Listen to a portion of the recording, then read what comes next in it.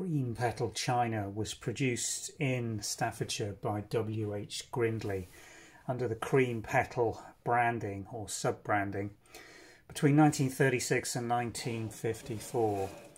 Cream Petal has a certain feel to it. I love it.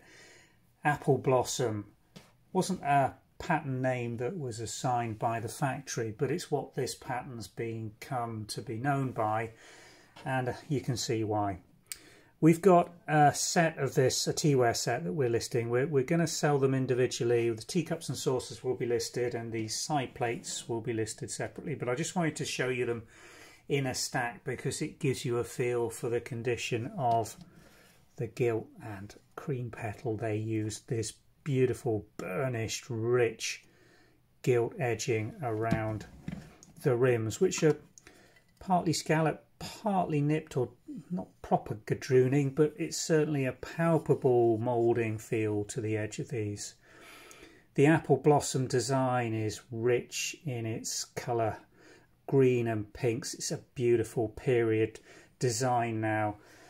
This couldn't be reproduced effectively anymore. The quality of this ware and the production is just of its era harking back to the period between 1936 and when production ceased on cream petal, which was 1954. And if I just catch the glaze in this light box, just look at the reflection on that. These pieces have been loved and cherished, but not used heavily, and the condition on them really is nearly as good as the day they were produced by the factory.